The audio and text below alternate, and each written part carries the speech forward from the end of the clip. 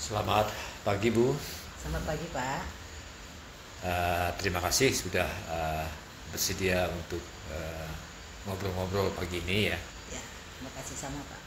Uh, yang ingin kami ketahui adalah seperti pepatah orang Melayu ya, orang Indonesia.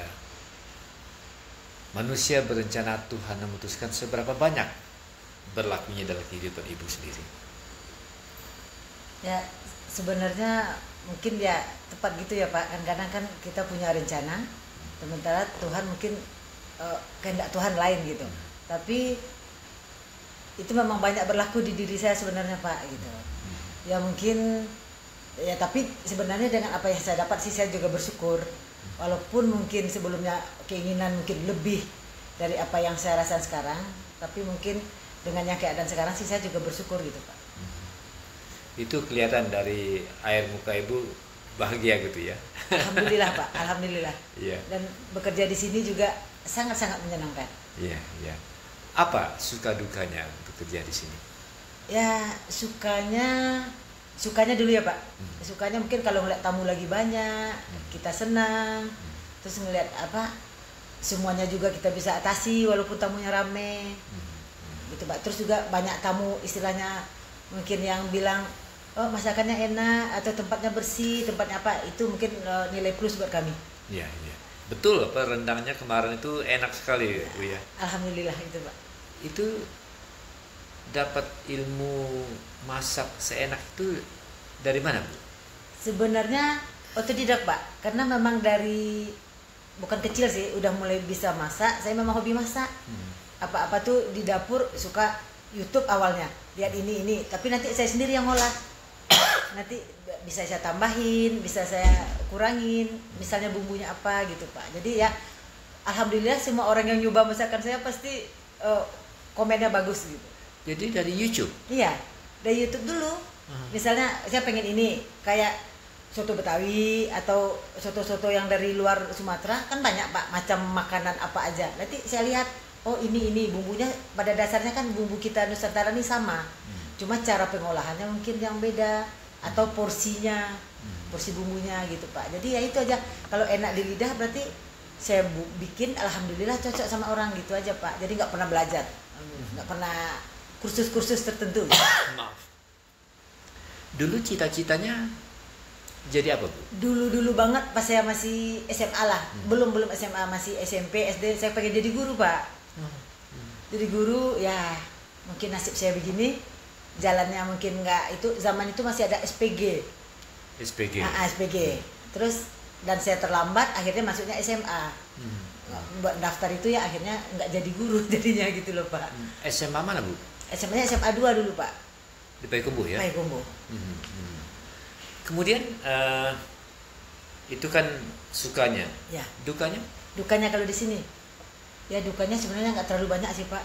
Eh, tapi ada juga tidak semua. Mungkin tamu yang agak rewel. Agak rewel maksudnya mungkin eh, ini kok begini ini kok begini gitu. Tapi kan itu mungkin biasa. Karena mungkin mereka ingin yang lebih yang seperti yang mereka inginkan gitu. Kan kadang kita mungkin standar kita bukannya segini sih standar kita bukan. Tapi ya mungkin belum seperti yang mereka mau. Itu aja tapi nggak banyak. Tapi ya kita eh, biasa aja tidak semua dan alhamdulillah semua kesannya sih biasanya bagus Sudah berapa lama bekerja di hotel yang bagus, eh, baik dan bersih seperti ini Bu? kalau di hotel ini ya sejak hotel ini pak masuk dua tahun Dua tahun ya? Ah, Hmm. Dulu katanya ini dulu rumah, sakit, ya? nah sebelumnya saya juga udah bekerja sama ownernya di sini sebelum ini jadi hotel masak juga sama yang punya sama ownernya Dokter ya? dokter dokter Dokter. kandungan Terus kandungannya. ya Terus dirombak jadi di hotel. Rombak dan kebetulan bapaknya bapak dokternya bikin rumah sakit yang lebih besar. Karena kan eh, kebutuhan dokter kandungan sekarang kan udah mulai meningkat di sini pak. Udah pada ibu-ibu udah ngerti kan eh, ke dokter. Jadi bapak udah bikin yang besar. Jadi ini waktu itu sempat nanya ibunya mau bikin apa ya bagusnya bude? Manggilnya kan ke saya banyak yang bude gitu. Bagus apa bude? Apa ya bu? Kita di tengah kota apa kita bikin hotel aja gitu. Alhamdulillah jadi. Hmm. Terus cerita dapat eh, kerja dengan ibu Pak sini dokter iya? dulu sebelumnya awal-awal dulu ini masih bukan punya Pak dokter itu, dokter juga yang punya dan kami kerja sama Pak dokter itu juga, dokter kandungan juga. Mhm. Dokter itu pindah ke Pekanbaru dan saya bekerja sama dokter ini lagi dan alhamdulillah semuanya baik gitu Pak. Jadi kita betah dan nyaman Mhm. gitu. Kemudian pesan-pesan apa yang ibu ingin sampaikan kepada orang-orang yang ingin eh, bekerja sebagai apa chef gitu ya? Eh, yang pertama mungkin bekerja sepenuh hati ya Pak.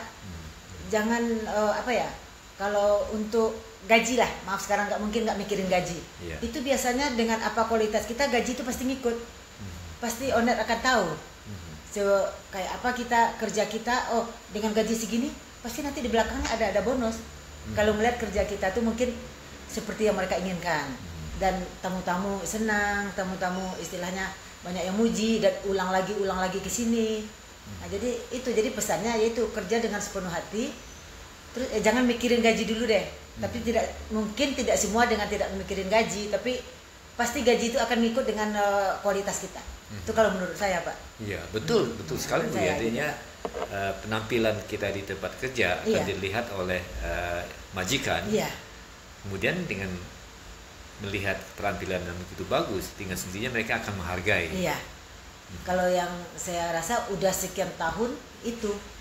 Jadi kepercayaan pun kayak sekarang ownernya keluar kota dan ini kepercayaannya 100% ke saya. Baik masalah restoran, baik masalah anak-anak menghandle di sini. Alhamdulillah saya dituakan di sini. Jadi itu kepercayaan yang saya pegang.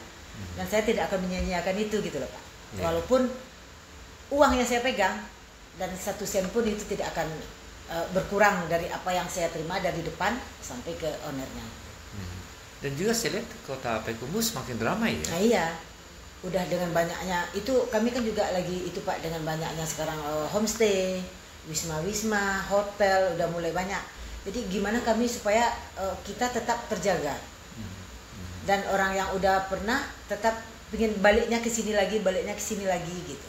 Iya. Kalau bisa mungkin lebih apalagi ya, apalagi ya gitu pak. Mhm. Gitu rencana itu. Jadi secara keseluruhan masyarakat kita di Payakumbuh, Ya. Minang itu semakin eh, terisi semakin bahagia ya kelihatannya ya. Kayaknya iya Pak, udah dengan adanya kafe juga udah banyak. Jadi mungkin pendatang juga dari Pekanbaru dari mana tuh udah banyak ke sini. Jadi ya udah kayak udah rame Pak, walaupun kota Pekumbu kan cuma kota, cuma kota Madia tapi udah rame.